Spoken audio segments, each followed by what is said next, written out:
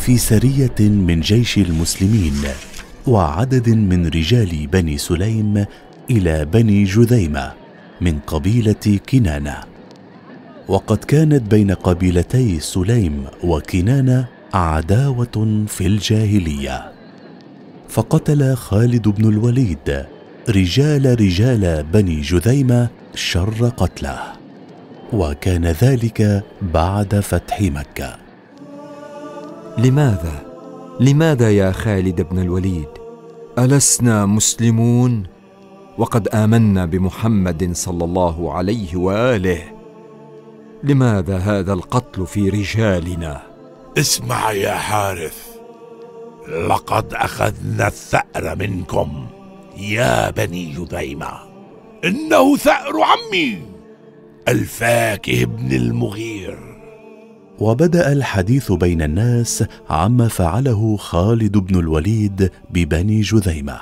خالد لم يترك الأحقاد في الجاهلية حتى بعد إسلامه.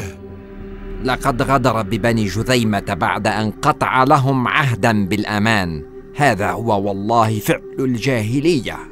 أولم يك خالد يعرف أن الإسلام قد نهى عن أخذ ثأر ما كان في حوادث الجاهلية. وكيف لا يعرف ذلك؟ أرى أن الأمر لا يخلو من تآمل. الله أعلم. وحين سمع النبي صلى الله عليه وآله بما فعل خالد بن الوليد قام واستقبل القبلة بالدعاء ثلاثا.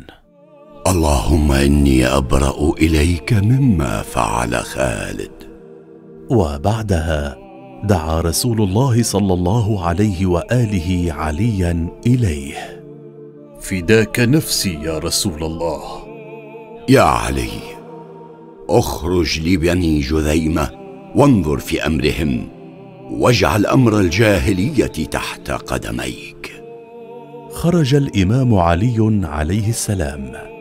وذهب إلى بني جذيمة ومعه مال الفدية الذي بعثه رسول الله صلى الله عليه وآله إليهم. إنما قدمه علي من كرم وسخاء. لنا لا يوصف. لقد دفع لنا فدية قتلانا فلم يبقى من دفع لدم إلا أداه. يا بني جذيمة هل بقي لكم دم أو مال لم يؤدى لكم؟ جزاك الله عنا خير الجزاء يا ابن أبي طالب. ونحن نشهد. قد وفيتنا حقوق قتلانا ومالنا وأراضينا وطيبت خواطرنا وهدأت من نفوسنا. هو والله كلام البلغاء. وحين فرغ الإمام من توزيع أداء الحقوق بقيت من المال بقية. يا بني جزيمة بقيت من الأموال بقية مما أعطاه لي الرسول الأكرم احتياطا مما لا يعلم ولا تعلمون وهي لكم الآن. هي والله أخلاق الأنبياء والأوصياء. هي والله أخلاق الأوصياء. وهو نفس النبي الأكرم صلى الله عليه وآله وسلم. الله عليه الله أكبر. الله أكبر.